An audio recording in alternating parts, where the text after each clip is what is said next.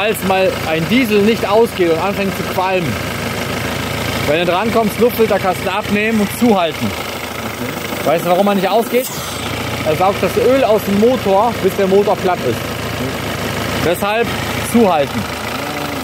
Aber es, guck, guck, aber es kann richtig heftig werden. Ne?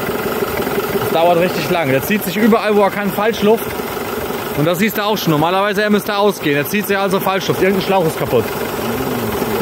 Er darf, darf nicht weiterlaufen. Du läufst immer noch weiter. Du hast ein riesen Unterdruckproblem. Der zieht Falschluft, aber sowas von.